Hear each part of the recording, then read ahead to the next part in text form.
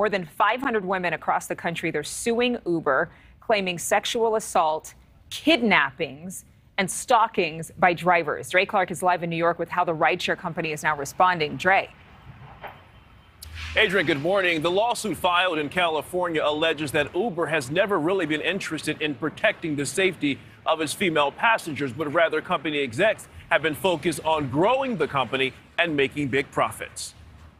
It's a massive lawsuit making extremely damaging allegations against one of the world's most recognizable companies, Uber.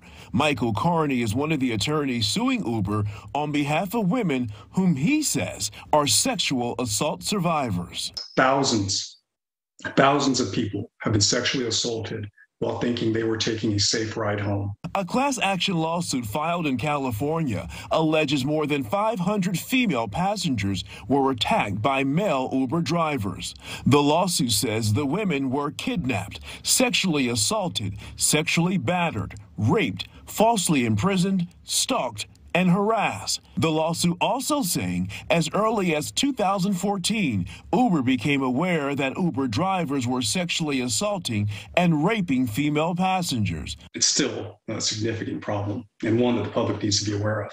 NewsNation contacted Uber about the lawsuit. A company spokesperson said this litigation has been ongoing since February 2022, and we can't comment on pending litigation. The company also pointing out some of its safety safety measures for riders.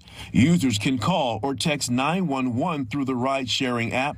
RideCheck detects if a trip goes unusually long or off course, and if that happens, the rider is contacted immediately.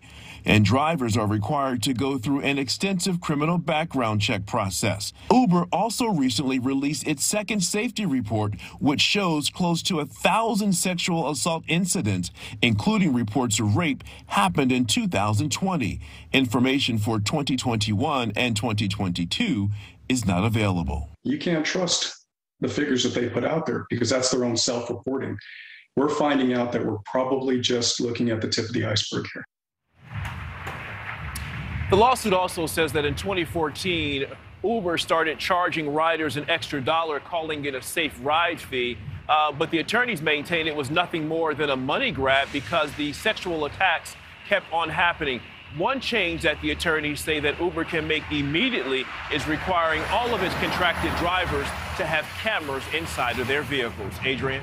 I mean, I'm telling you, I have driven with people with cameras in their cars, and I actually feel safer because I know there's proof somewhere. Of course, they have to get that video to the law enforcement if something did go down. Dre, thank you.